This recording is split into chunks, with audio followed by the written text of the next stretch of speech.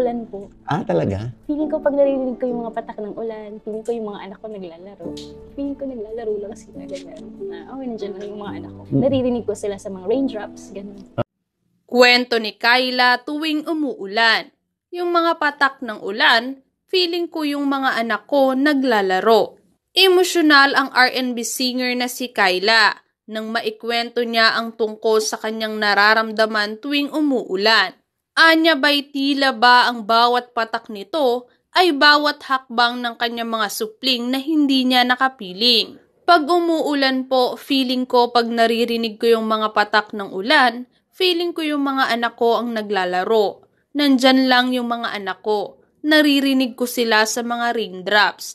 Parang feeling ko footsteps nila yon. Tumatakbo sila. Matatanda ang makailang beses umanong dumanas ng miscarriage si Kyla at aminado siyang labis siyang naaapektuhan nito.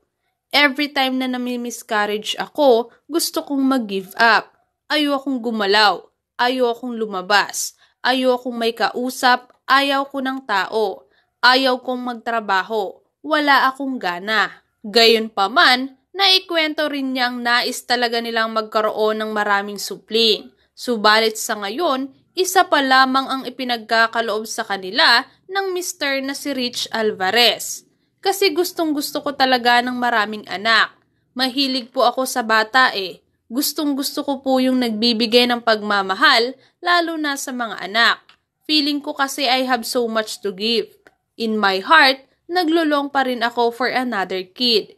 Gusto ko pa rin talaga na mabigyan ng kapatid si Toby. Pero sabi ko, kung gusto talaga ni Lord na i-bless kami with another baby, feeling ko kahit walang treatment. Ang buong kabuuan ng pahayag ni Kyla ay mula sa panayam sa kanya ni OG Diaz mula sa YouTube channel nito. Samantala, si Kyla ay kilala bilang isa sa mga mahuhusay na female R&B singer sa Pilipinas. Isa rin siya sa mga naging regular na hurado ng tawag ng tanghalan sa It's Showtime. Taong 2022 nang maibahagi ni Kyla ang ikaapat niyang miscarriage. Kung lahat na ito ay natuloy, lima na sana ang kanyang mga anak na kanya talagang umanong pinapangarap.